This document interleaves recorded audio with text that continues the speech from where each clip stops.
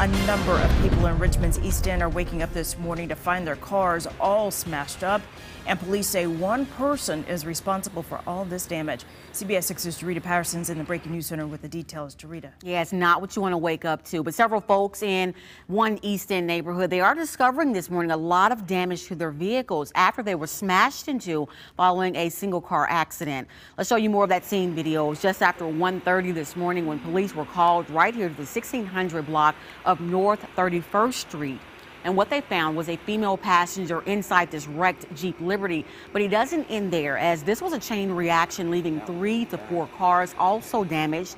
31st Street was closed for some time overnight as investigators had their hands full surveying the damages. The street has since reopened. Fortunately, no one was hurt in the accident. As for the female driver, she is not being charged because police believe the accident was triggered by a medical condition. Back to you guys. All right, All right thanks, thanks JP.